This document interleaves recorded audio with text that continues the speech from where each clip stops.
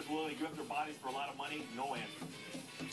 This was real heavy, guys. Scoring suffered, but we're going to take a break, and when we come back, buy or sell, I expect 1970s ABA-style points, a Game of Thrones type action. We got the Rangers and Capitals, best game of the postseason so far. Weavers, no-no, but were the Angels' bats finally waking up more important for the team? And Terrell Suggs is torn Achilles. Whether it will change the way ball so harder, ball so hard from this point.